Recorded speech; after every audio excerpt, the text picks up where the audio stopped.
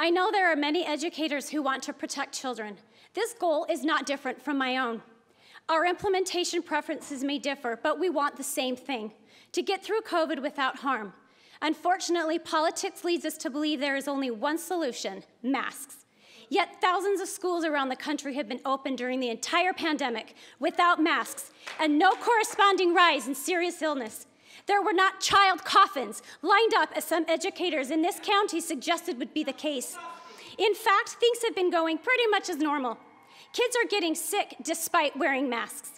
We are forcing healthy children home for exposure despite them wearing masks. And we are segregating children by vaccination status and religious exemption status despite the wearing of masks. So I ask you, if masks work, why don't they? I now, I'd now like to cover the facts.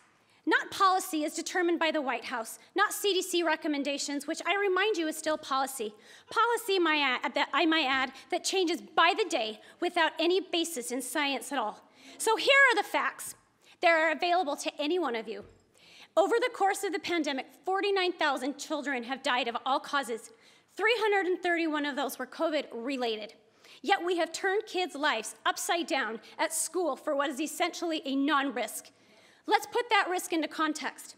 Last year, fewer kids died of COVID 19 than of heart disease, cancerous tumors, suicide, homicide, and drownings. Have the protocols, oh, have, have the schools stopped serving hamburgers and french fries? Have we put up tinfoil on the ceilings to block power lines? Do we even address the growing incidences of suicide during the pandemic? No, we play politics with kids' faces by placing restrictive fabric over their noses and mouths that the CDC itself has said don't do anything, and it's for their safety. This is asinine. This is blatant political theater, and it needs to end. Finally, regarding that end, I need to point something out that has been bothering me. On November 15th of last year, I had the privilege of speaking with Dr. McDade for 10 minutes following the CRT town hall meeting. During that discussion, which was friendly and cordial, I asked what she, as superintendent, could do to get the kids out of masks.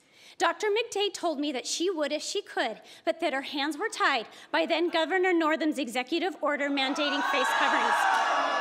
And if it weren't for that, things would be different. Well, tonight, things are different.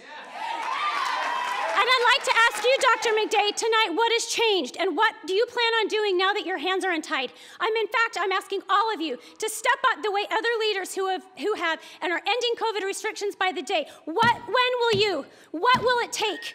You are on the losing side of history, Thank and it's you, time Ms. to make that right before these children now. Thank you. Thanks so much for watching this video. Be sure to hit the subscribe button so you never miss new content from the Daily Signal.